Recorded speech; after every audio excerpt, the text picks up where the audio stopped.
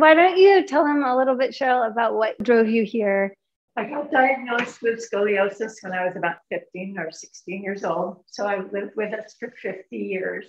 And I didn't want to be like this in another 10 years.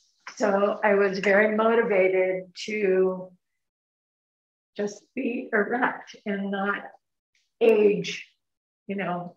So that's when I started. I recently retired, partially retired, so I had more time. And it's like I'm very motivated to erase the 50 years that I didn't really pay attention to um, my body.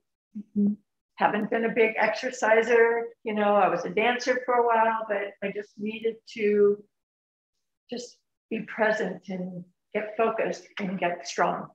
And in six months here, I feel like I have made a lot of progress. Um, part of it is being body awareness and being able to sit straight, stand straight, and you know progress. And I have seen a lot of change in six months, which isn't a lot of time, mm-hmm. but mm-hmm. I've seen a lot yes. of, and I'm getting stronger. A month ago, I couldn't do the tree pose for more than a second.